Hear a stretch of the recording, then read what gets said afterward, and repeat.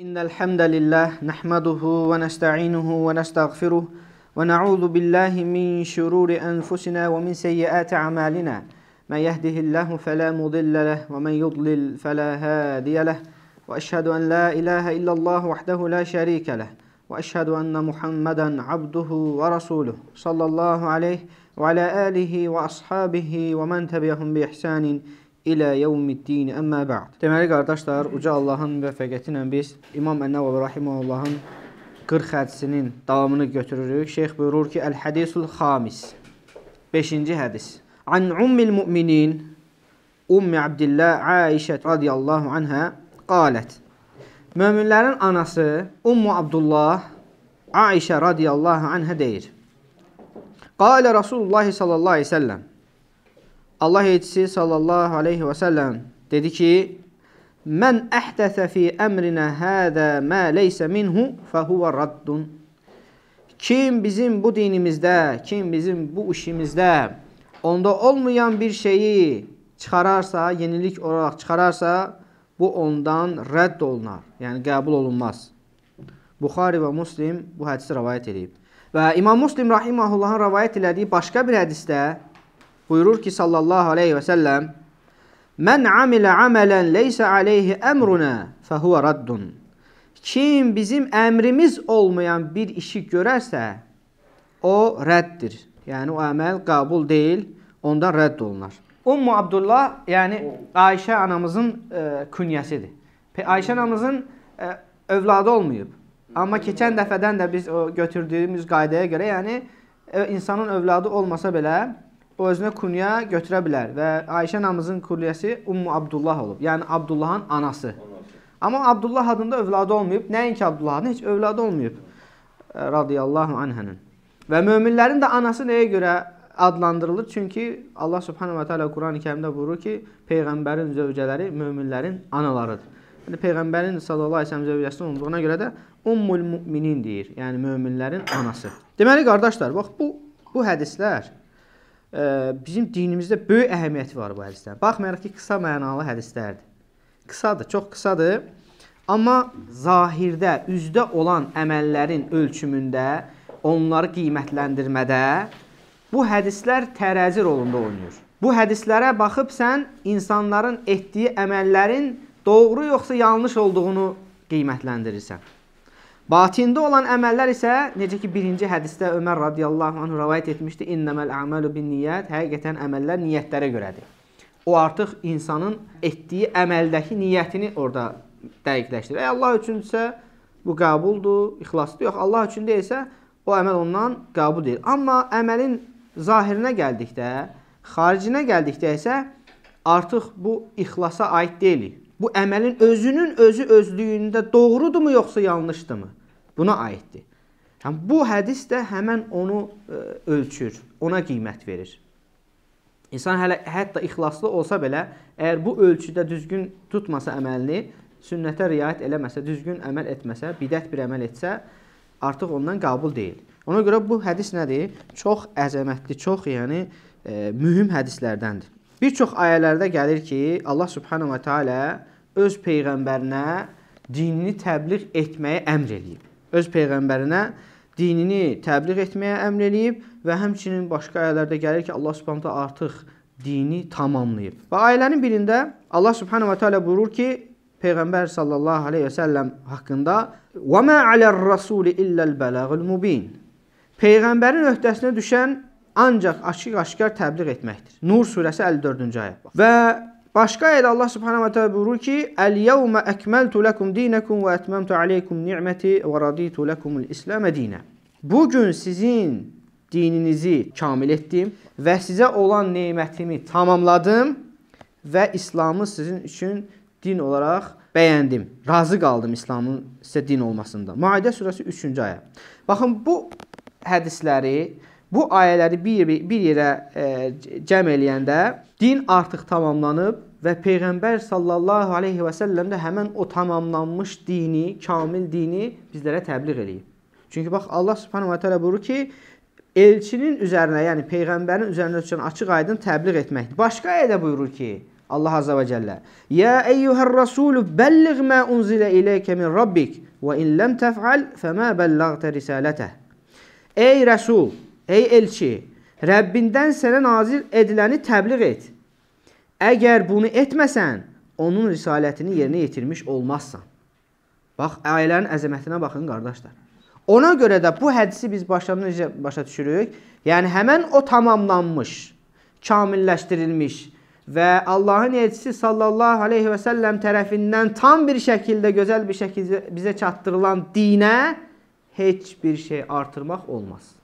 Nə də əskiltmək olmaz. Əməl etmək istəyirsən, Peyğəmbər sallallahu aleyhi və səlləm çatdırdığı həmən o kamil dinə əməl etməlisən. Kamil bir şəkildə əməl etməlisən. Peyğəmbər sallallahu əleyhi və səlləm çatdırdığı bir şəkildə. Ona görə bu dində yenilik çıxararsansa, o səndən qəbul deyil.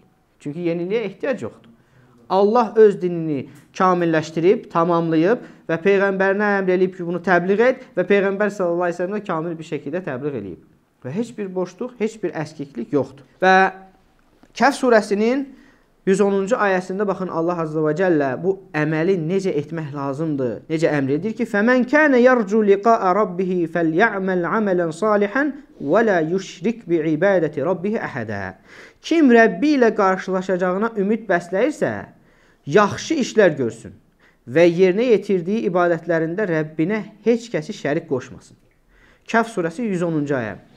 Şeyx Said rahimehullah bu ayənin təfsirində buyurur ki, yaxşı işlər Yaxşı işləyənə nə nəzər tutulur? Yəni vacib və müstəhəb işlərdə Allahın şəriətinə uyğun olan.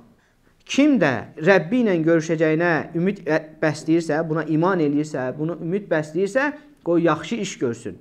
Necə yaxşı işi necə görsün? Şəriətə uyğun bir şəkildə. Bəs şəriəti bizə kim çatdırıb? Peyğəmbər sallallahu əleyhi və səlləm. Fudayl ibn İyad rahimehullah buyurur ki, Allah azza və cəllə bu ayəsini oxuyur. Əlləzi xalaqal mauta vel hayata liyabluwakum ayyukum ahsanu amala və huvel azizul gafur. Əməl baxımından hansınızın daha yaxşı olduğunu sınamaq üçün ölümü və həyatı yaradan odur. O qüdrətlidir, bağışlayandır. Bax fikir verin. Nə dedi burada Allah Azza və Cəllə? Əməl baxımından hansınızın daha yaxşı olduğunu. Bu birisi ayədə nə, dem nə demişdi? Rəbbi ilə qarşılaşacağına ümid edirsə, yaxşı əməl görsün. Yaxşı əməl nədir? Şeyx Said Rəhməllah buyurdu. Yaxşı əməl şəriətə uyğun bir şəkildə olan müstəhəb, fərz əməllər, düzdür? Şəriətə uyğun. Yaxşı, yaxşı əməli bildik. Yaxşı, hansınızın daha yaxşı əməl olduğunu necə bilirik? Fudeyl ibn Rahimullah buyurur ki, ən ixlaslısı və ən doğrusu. Ən ixlaslısı, yəni qəlbə bağlıdır, niyyət. Ən doğrusu nədir? Şəriətə uyğun olan Peyğəmbər sallallahu əleyhi və səlləmin öyrətdiyi formada. Deyirlər ki, ey Əbu Ali, yəni Fudayl ibn İyada deyirlər. Ey Əbu Ali, bəs ən ixlaslısı və ən doğrusu hansıdır? Bax, deyir ki, ən ixlaslısı və ən doğrusu. Deyir, yaxşı. Bəs ən ixlaslısı və ən doğrusu nədir? Deyir ki, e, rahimehullah, əgər əməl ixlaslı olar, amma doğru olmazsa qəbul olunmur. İxlaslıdır, Allah üçün eləyir, amma sünnətə müvafiq deyil, sünnətə müxalifdir bidət əməlidir. Qəbul deyil. Xoş niyyəti əməli icazəli eləmir, qəbul elətdirmir. Yox, əgər deyir, doğru olar, amma ixlassız olarsa, yenə qəbul olunmur. Yəni, bu dəfə zahirində sünnətə uyğundur. Amma daxilində nədir? İxlassızdır. Bu da əməl qəbul olunmur. Deyir, ancaq deyir, əməl e, o vaxt qəbul olur ki, ixlaslı və sünnətə uyğun olsun ixlaslı və doğru olsun. Ta ki bu hala qədər. Əgər əməlin qəbul olunmasından danışırıqsa, mütləq bu iki şərt olmalıdır. Sünnəyə uyğunluq doğru olmalıdır, yəni doğru olmaq deyəndə sünnəyə uyğunluq nəzərdə tutulur. Və həmçinin ixlaslı olmalıdır. Mütləq bu iki şərt cəm olunmalıdır qardaşlar. Və sonra deyir ki, Şeyx Abdülmuhsin Abbad Hafizəhullah, əgər deyir, məsələn, şəriətdə olan ibadətlərdən hər hansı biri, istər məsələn, dəstəmaz olsun, qüsul olsun, namaz və digər hər hansı başqa əməllər şəriətə müxalif bir şəkildə olarsa, o əməl nədir? Sahibinə geri qaytarılır, qəbul olunmur və etibarlı hesab olunmur o əməl.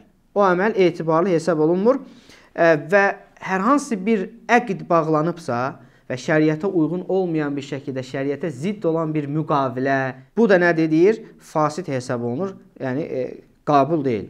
Və əgər nə, bunun qarşılığında nəsə bir mal götürülübsə, batil olaraq bu da yer, sahibinə geri qaytarılmalıdır. Bir dənə deyir, bədəvi ərəb gəlir, deyir ki, ey Allahın rəsulu, bizim aramızda Allahın kitabı ilə hökm ver və onunla gələn onun xasmı da, onunla yəni mübahisəli olan şəxs də deyir ki, düz deyir. Yəni mən də bunu istəyirəm. Bizim aramızda Allahın hökmü ver. Və o zaman bədəvi ərəb deyir ki, mənim oğlum Asif, Asif də yəni nədir? Bir işçi deməkdir qardaşlar. Asif, işçi olaraq bu deyir adamın yanında idi. Və bunun deyir qadını ilə sonra zina eləyir.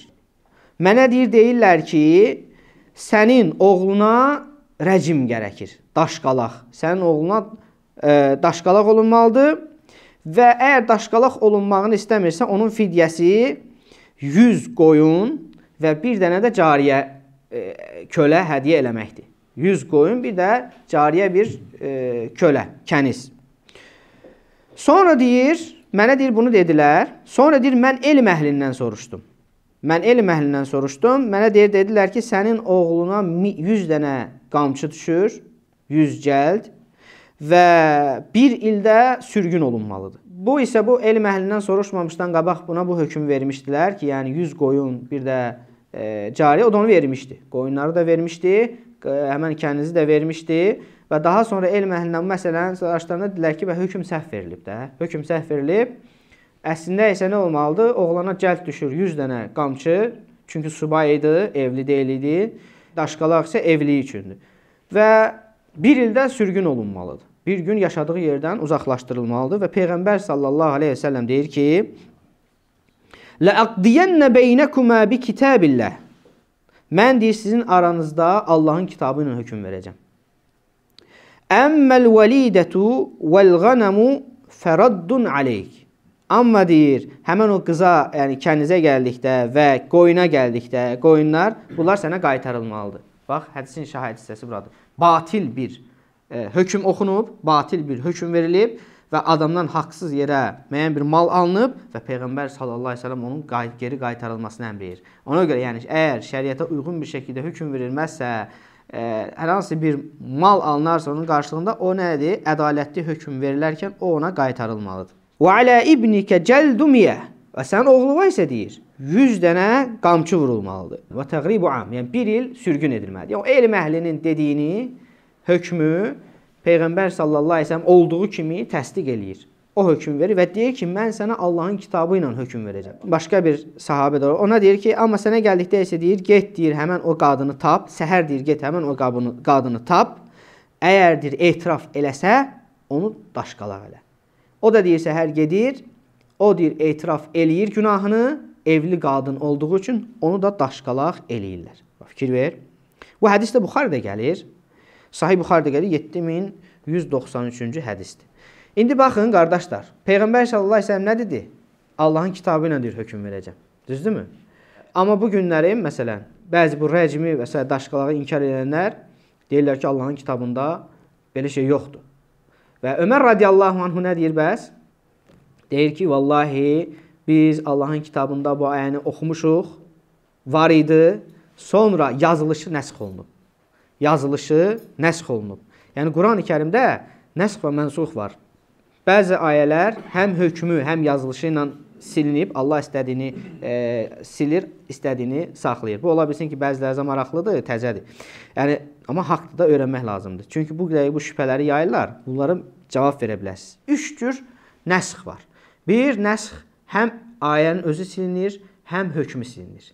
İkinci cür nəsx ayənin özü silinir, amma hökmü qalır. Bax, Rəcm ayəsi kimi. Ömər radiyallahu anhu deyir ki, vallahi biz o ayəni Quran-ı Kərimdə oxuyurduq. Qurandan o cür ayə, yəni, Rəcm ayəsini oxuyurduq. Peyğəmbər sallallahu əleyhi və səlləm də rəcm elədi. Ondan sonra Raşidi xəlifələr də rəcm elədi. Yəni zina edən evlini rəcm eləyirdi və bu da o hədislərdən biridir. Peyğəmbər sallallahu əleyhi və səlləm əmr edir ki, get, əgər qadın etiraf etsə rəcm elə. Və bu nəsxin e, iki növünü biz burada dedik. Biri ayə də silinir, hökmü də silinir. İkincisi ayə silinir, hökmü qalır. Üçüncü isə nəsx nədir? Ayə qalır, amma hökmü silinir. İşkilalda namaza yaxınlaşmayın. Sonra isə tamamilə içki haram edilir. Düzdür? İndi məsəl üçün bax o ikinci əvvəlki ayə nəsx olunmuş ayədir. Hökmü nəsx olunub. Qiraəti var, oxuyuruq. Biz həmin ayəni oxuyuruq, amma hökmü yoxdur ayənin. Hökm hansı ayəyə keçib? Özündən sonra gələn tamamilə içkini haram eləyən ayəyə keçib. Özündən əvvəlki ayəni nəsx eləyən ayədir. Və yəni içkinin haram olması tədarrucun olub da, mərhələ-mərhələ.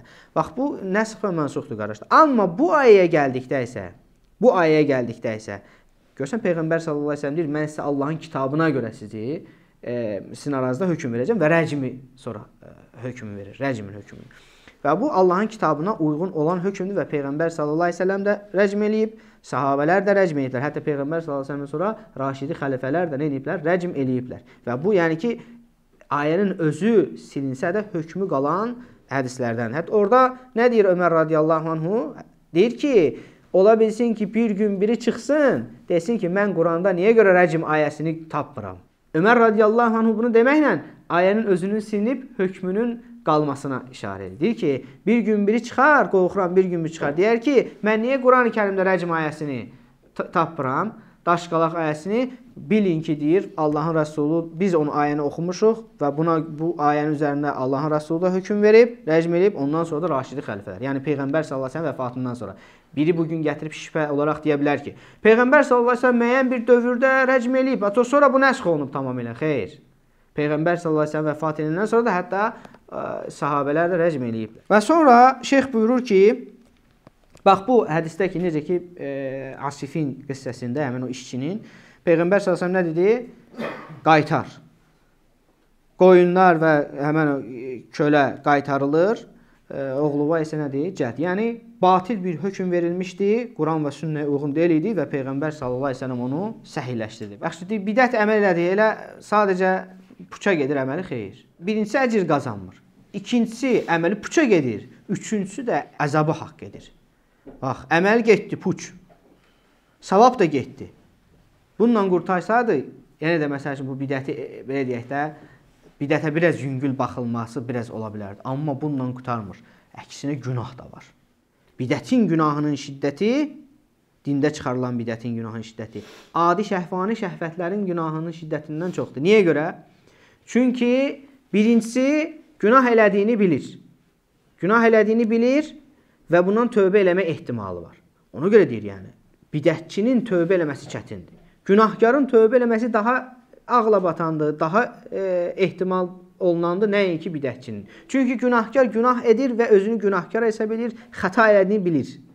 Və bu deyir tövbəyə daha yaxın. Amma bidətçi isə bunu dindən bilir. Doğru etdiyini bilir. İnsan doğru hesab etdiyi əməldən niyə görə tövbə eləsin ki? Özünü Allaha yaxınlaşdıran bir əməl zənn edir. Ona görə bax bidətlər çox təhlükəlidir qardaşlar. Bax bidətlərin, yəni e, bir var adi bölgələrdə, başqa bölgələrdə bidətlər. Bir də var ki, Peyğəmbər sallallahu əleyhi və səlləm şəhərində. Peyğəmbər sallallahu əleyhi və səlləm şəhərində bir bidət eləmək daha şiddətlidir. Daha e, yəni cəzası ağırdır. Bax, Peyğəmbər sallallahu əleyhi və səlləm buyurur ki: "Mən əhdəsə fiha hadatan" Kimdir orada, yəni Mədinədə bir yeni bir bidət çıxararsa, əv əvə muhdisən və yaxud da ki, bir bidətçiyə sığınacaq verərsə, yer verərsə, ona dəstək olarsa, fəaleyhi la'natullahi vel mələikətu ven nasu ecmaîn. Allahın, mələklərin və bütün insanların lənəti onun üzərinə olsun. Ravahil Buxari və Muslim. Bax. Bu.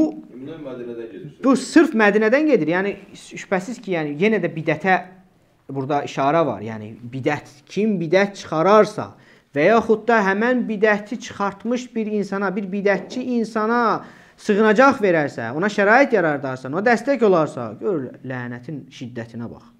Allahın, mələklərin və bütün insanların, bütün insanların lənəti, peyğəmbərlər, salihlər, şəhidlər, abidlər, hamısının lənətidir onun üzərinə olsun.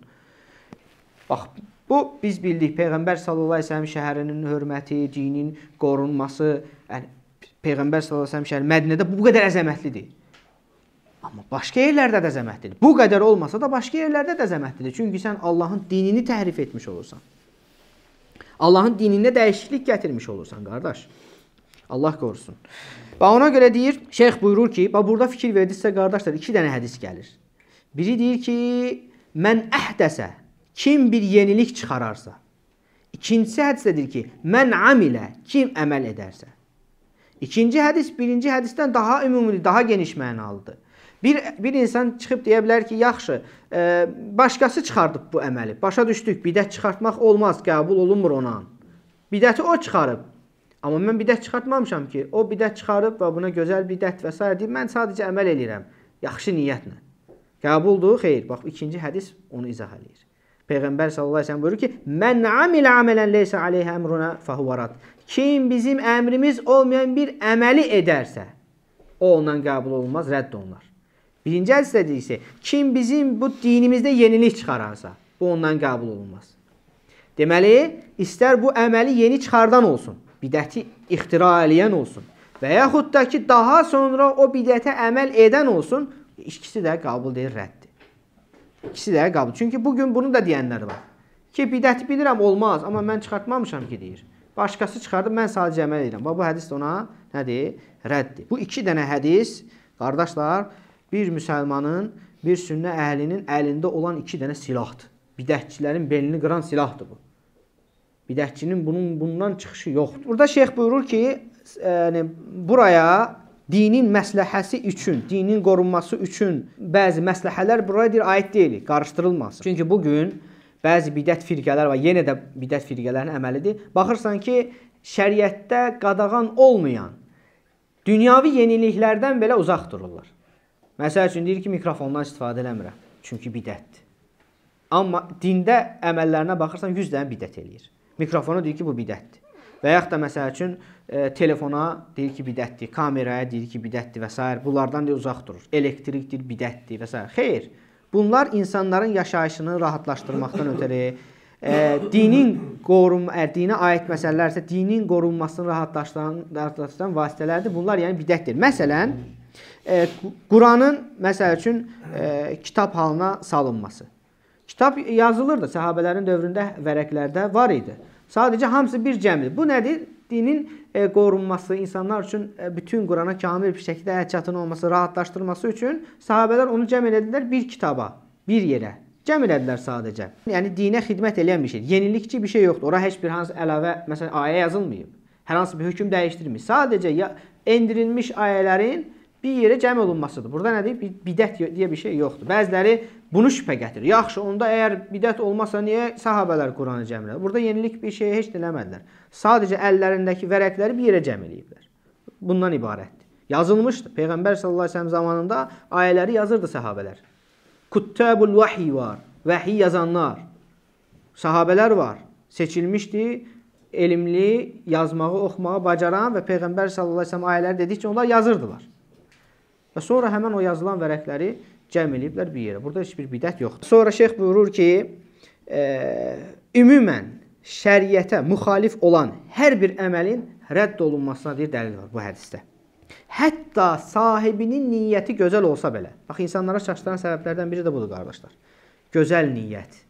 Gözəl niyyət fasid əməli salih eləmir qardaşlar.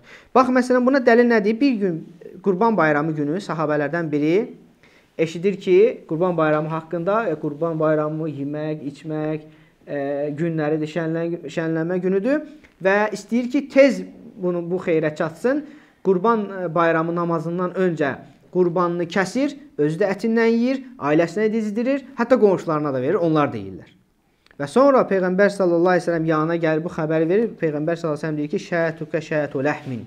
Sənin heyvanın, sənin qoyunun kəsdiyin sadəcə ətdir. Sadəcə ətdir. Qurban kimi qəbul deyil. Qurban bayramı günü kəsilən qurbanın şərti bayram namazından sonra kəsilməsidir. Çünki sonra bu hadisədən sonra Peyğəmbər sallallahu əleyhi və səlləm açıq aydın əmr eləyir ki, kim qurbanını qurb namazdan öncə kəsibsə, bunu təzələsin. Onun kəsdiyi sadəcə ətdir. Bax, səhabənin niyyəti gözəl idi, düzdürmü? Yəni əslində qurban kəsmə əməli də əməlində də bir bidət, bir əlavə bir şey eləməmişdi. Amma vaxtını düzgün eləməmişdi. Vaxtı Qurban namazın, Qurban bayramı namazından sonradır. Sahabə radiyallahu anhu xeyrə tələsdiyi üçün. Bax, məsələ nədir? Xeyrə can atdığı üçün. İnsanları çaşdıran budur. Xeyrə can atdığı üçün, xeyir əldə etmək istəyi üçün nə elədi? Tez elədi. Əməlində də, zahirində şəriətə müxalif heç bir şey yoxdur. Sadəcə zamanlı şeyləri Peyğəmbər sallallahu əleyhi və səlləm nə dedi? Sənin heyvanın deyir, sənin qoyunun sadəcə deyir ətdir. Adi ailən üçün ət necə kəsirsən? Ətdir. Bu qurbanla onun əlaqəsi yoxdur. Və sahabət yenidən qurban kəsməsini əmr edir Peyğəmbər sallallahu əleyhi və səlləm. Həmçinin başqa hər kəsə də xəbər verir. Kim namazdan öncə deyir qurbanını kəsibsə, təzələsin. Heyvanını təzələsin. Baxın qardaşlar, bu dində yenilik çıxartmaq o qədər şiddətli bir məsələdir ki, sahabelər, ondan sonra alimlər bu məsələyə çox şiddətli yanaşıblar. İmam Malik rahimehullahın bu məsələdə məşhur bir e, qissəsi var. Buyurur ki, deyir ki, kim dində gözəl bir bidət olduğunu deyər, dində gözəl bir bidətin olduğunu deyərsə, Muhammed sallallahu aleyhi və səlləmin peyğəmbərliyə, risalətə xəyanət etdiyini deyir, iddia etmişdir. Maidə surəsi 3-cü ayəsində oxuyur. "Əl-yevmə əkməltu lekum dinakum və etmemtu aleykum ni'meti." Bu gün sizin dininizi kamilləşdirdim və sizə olan nemətimi tamamladım. Ayənin əzəmətinə baxın. Bu gün sizin dininizi kamilləşdirdim. Artıq orada heç bir naqislik yoxdur. Hətta yahudilərdən biri Ömər radiyallahu anhə gəlir deyir ki, ə, sizdədir bir dənə Quranda oxuduğunuz ayədə bir dənə ayə var. Əgər biz bizə o ayə insəydi, biz onu bayram eləyərdik. Ömər radiyallahu anhu deyir ki, hansı ayəni deyirsən? O deyir ki, bu ayəni deyir, biz o ayəni bilirik, harda enib onu da bilirik və o günü də bayram edirik. Arafa günü enib deyir. Peyğəmbər sallallahu əleyhi və səlləm həcdə onu Arafa günü enib və özü də cümə gününə düşüb. Və müsəlmanlar da həmin günü həftəlik bayramdır. Cümə elə Arafa da Arafa. Ömər radiyallahu, radiyallahu anhu Yahudinin gözəl cavabını verir orada. Yəni bax, Yahudi bu dinin, e, bu ayənin əzəmətini bilirdi, amma bizim bu gün bəzi bidətçilərimiz, Allah onları hidayət etsin, bu ayənin əzəmətini başa düşmürlər ki, e, sənin dininin tamamlanması, kamilləşməsi nə qədər əzəmətli bir nemətdir. Orada heç bir boşluq yoxdur. Bax, İmam Malik rahimehullah nə deyir? Deyir ki, bax bu ayəni dəlil gətirərək deyir ki, bu ayəyə görə Bu ayənin dəlalət etdiyi mənaya görə bu gün bir kəs desə ki, gözəl bidət var, bir əməl edər, gözəl bidət deyərsə, o Peyğəmbər sallallahu əleyhi və səlləm risalətinə xəyanət etdiyini demiş olar. Necə başa düşürük bunu? Allah subhanahu va taala deyir ki, bu gün dininizi tamamladım. Artıq Peyğəmbər sallallahu əleyhi və səlləmə kamil bir şəkildə Allah subhanahu va taala bu risaləti çatdırıb. Və başqa ayədə əmr edir ki, ey elçi, bu risaləti təbliğ elə. Başqa ayədə buyurur ki, peyğəmbərin vəzifəsi sadəcə risaləti təbliğ eləməkdir. Onda sən belə çıxır ki, sən bir dənə əməl edirsən, Peyğəmbər sallallahu əleyhi və səlləm o etmədiyi bir əməli edirsən, əmr etmədiyi, öyrətmədiyi bir əməl edirsən və edirsən gözəl əməldir. Deməli, Peyğəmbər sallallahu əleyhi və səlləmin o əməli sənə çatdırmadığını, dindən imiş, amma sənə öyrətməyib. Sənin sözünün mənasından bu çıxır ki, dindən idi, gözəl idi, amma Peyğəmbər sallallahu əleyhi və səlləm bunu sənə öyrətmir. Ona görə sözün sonrasında deyir ki, Peyğəmbər sallallahu əleyhi və səlləmin zamanında dindən olmayan bir iş sözlərin əzəmətinə, gözəlliyinə baxın qardaşlar. İmam Malik rahimehullahın adından bu gün nə qədər bidətlər çıxarırlar və İmam Malikə nisbət elə biz Maliki məzhəbiyik deyirlər. Bidətlərlə doludur. Amma İmam Malik rahimehullah bu bu sünnənin qorucularından olub, mühafizlərindən olub, alimlərindən olub, Mədinənin fəqihlərindən olub. Gör nə deyir? Deyir ki, sahabələrin zamanında dindən olmayan bir iş bu gündə dindən ola bilməz, hətta qiyamət qopana qədər. Qiyamətə qədər. Amma bu gün nə deyir? Nə olsun ki, sahabələrin zamanında olmayıb? Gözəl niyyətlə nə edirik də? Bidətül həsənə dedik. Gözəl bidət. Nə problem var ki? Bu cür deyən insanlara da Peyğəmbər sallallahu əleyhi və səlləm sünnətindən bir çox rəddlər var, qardaşlar. Ərbəd ibn Səriyə radiyallahu anhunun hədisidir. Deyir ki, bir gün deyir, Peyğəmbər sallallahu aleyhi və səlləm bizə namaz qıldırdı və sonra bizə dir yönəldi, bizə gözəl bir muayizə elədi. Ondan gözlər deyir yaşardı. Gözlər də yaşardı, qəlblərimiz qorxuya düşdü. Səhabələrdən biri dedi ki, ey Allahın elçisi, bu sanki e, vəda edənin bir muizəsi kimidir. Fəmədə ta'had ileynə. Bizə nə nəsihət edirsən? Və Peyğəmbər sallallahu əleyhi və səlləm dedi ki, "Usikum bi taqvallah." mən sizə Allaha qarşı təqvalı olmağınızı nəsihət edirəm. وَالسَّمِعُ التَّعَةِ وَاِنْ عَبْدًا حَبَشِيًّا Hətta həbəşi bir qul olsa belə eşidib itaət etmənizi əmr edirəm, nəsihət edirəm. فَإِنَّهُ مَنْ يَعِشْ مِنْكُمْ بَعْدِ فَسَيَرَى اخْتِلَافًا كَثِيرًا Sizlərdən deyir, məndən sonra kim yaşasa çoxlu ixtilaflar görəcək. فَعَلَيْكُمْ بِسُنَّتِ وَسُنَّةِ الْخُلَفَاءِ الْمَهْدِيِّينَ الرَّاشِدِينَ تَمَسَّكُوا بِهَا Mən sizə deyir, sünnətimi tövsiyə edirəm. Mənim sünnətimi və Raşidi doğru yol yönədən Raşidi xəlifələrimin sünnətindən sünnətini e, yönəldirəm. Ondan tutunun. Va'addu alayha bin nawajiz. Deyir, ondan azı dişləriniz də yapışın. Ondan birinci deyir, tutunun. Təməssəku bihə. Ondan tutunun. Amma necə tutunun? Ondan deyir, azı dişlərinizlə yapışın. Yəni sımsıxı. Və iyyakum və muhtəsatil umur. Mən sizi deyir, sonradan çıxarılmış yeni işlərdən deyir, çəkindirirəm. Fə innə kullə muhtəsətin bid'a. Həqiqətən bütün yeniliklər, dində sonradan çıxarılmış bütün yeniliklər bidətdir. Və kullu bid'atin dalalə və hər bir bidət də azğınlıqdır. Fikir verdiniz hədisin bu hissəsinə qardaşlar? Bütün dində çıxarılmış bütün yeniliklər bidətdir və bütün bidətlər də azğınlıqdır. İstisna var burada. Hansısa bir bidəti Peyğəmbər sallallahu əleyhi və səlləm istisna elədi? Xeyr. Burada heç bir istisna yoxdur. Birini çəkindirir. Dində yenidən yeni, yeni çıxarılmış işlərdən sizi çəkindirirəm. Sonra deyir ki, hər bir yenilik bidətdir, hər bir bidət azğınlıqdır, hər azğınlıq da başqa hədisdə gəlir ki, finnər və hər bir azğınlıq da oddadır. Axırı oddadır. Yenilik, dində çıxan yenilik səni ha aparır, oda aparır. Cənnətə aparmır, e? oda aparır. Bax, burada istisna deyə bir şey yoxdur. Peyğəmbər sallallahu aleyhi və səlləm hikmətindən və təbliği kamil çatdırmasındandır ki, qardaşlar, istisna olan yerlərdə istisnanı mütləq bildirib.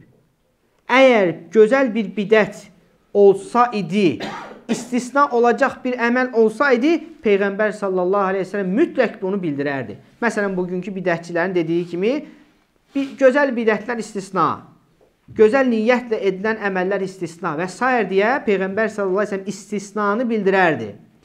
Biz də bunu hardan görürük? Çünki Peyğəmbər sallallahu əleyhi və səlləm istisna olan yerlərdə bunu bizə xəbər verib. Bax bu hədisdəki kimi. Peyğəmbər sallallahu əleyhi və səlləm buyurur ki: "Kullu ummeti yedhulunal cennə." Mənim bütün ümmətim cənnətə daxil olacaq. Amma bundan bitmir. Deyir: "İllə mən əbə."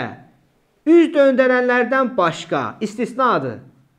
Üz döndərənlər istisnadır. İstisnanı qeyd elədi Peyğəmbər sallallahu əleyhi və səlləm. Bütün ümmətim cənnətə birbaşa girəcək demədi. Dedi, bütün ümmətim cənnətə girəcək ancaq üz döndərənlərdən başqa.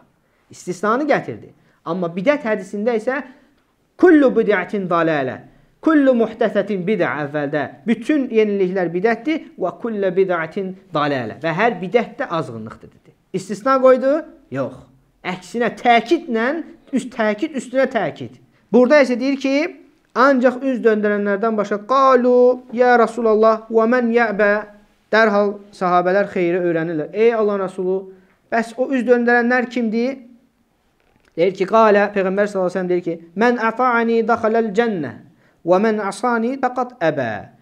Kim deyir, mənə itaət edərsə, o cənnətə daxil olar. Və kim mənə asilik edərsə, artıq o üz döndərmişdir. Fikir verdiniz, qardaşlar? Bu hədisi nəyə görə gətiririk? Yəni istisna lazım olan yerlərdə Peyğəmbər sallallahu əleyhi və səlləm istisnanı bizlərə xəbər verib. Bu da Buxari rahimehullah rivayet edib 7280-cı hədisdir. Biz əhlüsünnə və cemaat olaraq bidətlərə qarşı belə sərt dur dururuq, düzdür? Çünki başda Peyğəmbər sallallahu əleyhi və səlləm bu məsələnin təhlükəsini bizə çatdırıb və sahabələr bu cür yanaşıb, salih sələflər hamısı bidətlərə qarşı gördüyünüz kimi İmam, Malik rahimehullahın məsələn misalında necə sərt yanaşıblar, düzdür? İndi biz Peyğəmbər sallallahu əleyhi və səlləm bu sözünü götürüb insanları bidətdən çəkindirəndə biz kimin sözünü deyirik? Peyğəmbər sallallahu əleyhi və səlləmin. Peyğəmbər sallallahu əleyhi və səlləm sözünü deyirik, açıq aydın naslara, dəlillərə, Quran ayəsinə uyğun bir söz deyirik. Dində gözəl bidətlər var, problem yoxdur. Niyyət də əsas gözəl niyyətdir və s. deyənlər nə edirlər? Allahın ayəsinə və Allahın peyğəmbərinin sallallahu əleyhi və səlləm sünnəsinə müxalif olurlar. Hansı daha xeyirli yoldur qardaşlar? Hansı daha xeyirli yol? Əlbəttə ki, peyğəmbər sallallahu əleyhi və səlləm sünnəsindən kifayətlənən və Allahın ayələrinə müvafiq hərəkət edən.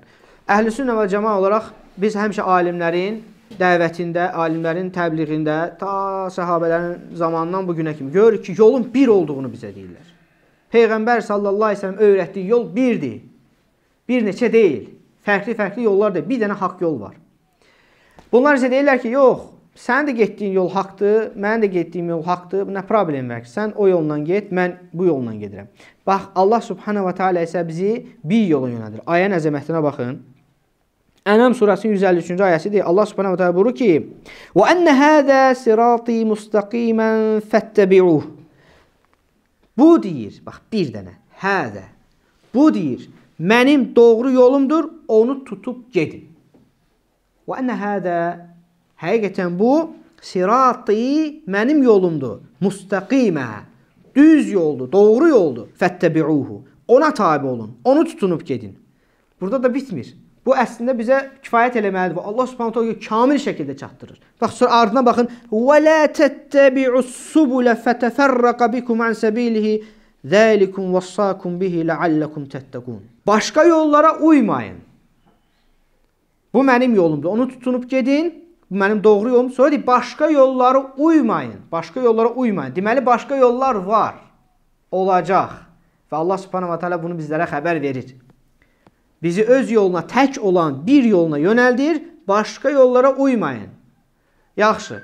Deyək ki, biz bu vədə e, bu Allah Subhanahu bu əmrinə riayət etmədik, başqa yollara uyduq. Və bəzi insanların dediyi kimi, "Nə olsun, sən də o yolla gəlsən, sən də düzdür, mən də bu yolla gəlirəm, mən də düzdür." Düz yolla gəlirəm. Təhlükəsinə bax. Allah Azza və Cəllə buyurur: "Çünki o yollar, o bir yola müxalif olan yollar sizi Allahın yolundan uzaqlaşdırar." Təhlükə çıxdı üzə. Görsən? Gör nə qədər əzəmətli təhlükədir. Allah Subhanahu va Taala ki, mənim yolumdan tutun, mənim yolumdan e, gedin, doğru yolum budur, başqa yollara uymayın. Yaxşı, başqa yola uysam təhlükə nədir? Deyir, o yollar sizi Allahın yolundan uzaqlaşdırar. Allah bunları sizə tövsiyə etmişdir ki, pis əməllərdən çəkinəsiniz. Bax, ayənin əzəmətinə baxın qardaşlar. Bu ayə bizə dinin dirəklərindəndir. Bax gör nə qədər məsələlər var burada. Hansı ayədə qalır? Bu ayə, ayə Ənam surəsi 153-cü ayə. Allah Subhanahu va Taala yolun bir yol olduğunu bildirir bizə. Haqq yolun bir yol olduğunu bildirir bizə. Və eyni zamanda bu yolun yanında başqa yolların da olduğunu bizə bildirir. O yolların təhlükəsini deyir ki, o yollar sizi Allahın yolundan uzaqlaşdırar. Abdullah ibn Məsud radiyallahu anhunun qardaşlar, dində yenilik çıxaran bəzi kəslərlə bir qissəsi var. Gəlirlər Abdullah ibn Məsud radiyallahu anhu xəbər verirlər ki, məsciddə bir dəstə insan görmüşük. Bunu da bu hədisə görə Əbu Musa əl-Əş'ari radiyallahu anhu deyir. O da özü də səhabə olmasına baxmayaraq daha e, elmdə hörmət etdiyi, daha e, elmli bildiyi sahabədən məsləhət alır. Abdullah ibn Məsud radiyallahu anhunun e, yanına gəlir. Ona deyir ki, xəbər verir ki, bir dəstə insan var məsciddə, Allahı doğru olmayan bir şəkildə zikr eləyirlər. Və soruşur Abdullah ibn Məsud radiyallahu anhu deyir ki, e, yəni sən görəcəksən onu, rastlaşacaqsan. Və onları necə zikr etdiyini. Sonra deyir ki, yəni belə eləyirlər. Yəni aralarına daş qoy, daşlarla daşları qoyurlar qarşılarına, bir-birlərinə ötürürlər və istənilən biridir ki, Allahı e, tə, Allaha təkbir gətirin. Allahu Ekber deyin. Başlayırlar 100 dəfə Allahu Ekber, Allahu Ekber təkbir getməyə. Sonra deyir ki, daşları atır o biz tərəfə deyir ki, 100 dənə subhanallah deyir, 100 dənə elhamdülillah deyir, 100 dənə la ilahe illallah deyir və beləcə qruplar halında məsciddə zikirlər eləyirlər, səsli özdə. Və Abdullah ibn Məsud radiyallahu anhu deyir ki, Sən deyir onlara heç nə demədin? Əbu Musa əl-Əşər radiyallahu anh deyir ki, mən istədim ki, səndən məsləhət alım, sonra nəsə deyək də, yəni sənin məsləhətini gözlədim. İstə, yəni sənin e, fikrini almaq istədim. Abdullah ibn Məsud radiyallahu anhu deyir ki, onlara denən deyir, günahlarını saysınlar. Zikirləri bu cür sayma, günahlarını saysınlar. Sonra gəlir həmən insanların yanına, yəni bir gün tapşırır ki, əgər belə bir əməl etdikdən yenə görsəz, Mənə gəlin xəbər verin. Gəlirlər xəbər verirlər ki, bu həmən insanlar yenə zikr edirlər və gəlir Abdullah ibn Məsud radiyallahu anhu və sahabələrin zamanında çıxan artıq bu əməldir. Daşlarla zikr eləyən vaxt onların gəlir başı üstünə durur, deyir, siz neyəsiz? Deyir, biz zikr deyir ki, gör kəlməyə bax, deyir ki, Vayhakum ya ümmətə Muhammed. Vay sizin hanızadır, ey Muhammedin ümməti. Sizə nə olub ki, nə tez deyirsiniz həlak oldunuz deyir. Peyğəmbər sallallahu əleyhi və səlləm səhabələri sizin aranızda deyir. Boldular, var, aralarınızda gəzirlər. Və hadihi thiyabuhu lam tabal. Peyğəmbər sallallahu əleyhi və səlləm paltarı deyir, hələ durur, xarab olmayıb. Tam köhnəlib, xarab olmayıb, məhv olmayıb. Və aniyatuhu lam tuksar. Hələ qabları heç qırılmayıb. Peyğəmbər sallallahu əleyhi və səlləm hələ qabları deyir, qırılmayıb. Vəllazi nəfsi biyedihi. Nəfsim əlində olana and olsun ki, deyir. Siz ya Muhammed sallallahu aleyhi və səlləmin ümmətindən üstün olmusunuz. Doğru yolu onlardan da yaxşı tapmısınız. Onlardan da irəli getmisiniz. Ya da ki deyirsiniz özünüz üçün azğınlıq qapısını açmısınız. Bax burada qardaşlar, əslində onların elədiyi çox da əzəmətli belə-belə ki, bu günümüzdəki əzəmətli bidətlərdən deyildi. Sadəcə zikr eləmə formasında yenilik çıxartmışlar. Daşlarla zikr edirdilər və xor halında bir-birinə deyə-deyə belə. Amma reaksiyaya bax. Səhabənin onlara verdiyi reaksiyaya bax. Nə tez həlak oldunuz deyir. Nə tez həlak, buna həlak qapısı adlandırır bunu. Dində çıxarılan bu bidətlərin həlak olduğunu deyir. Ya deyir, bax, yanaşma tərzinə baxın qardaşlar. Bu, biz də bu cür yanaşmaq. Ya deyirsiniz Peyğəmbər sallallahu əleyhi və səlləmin səhabələrindən də daha daha üstün oldunuz, ya da ki azğınlıq qapısı açmısınız. Birinci tərəf ola bilməz. Sahabeləri xeyir əməllərdə heç kim ötüb keçə bilməz.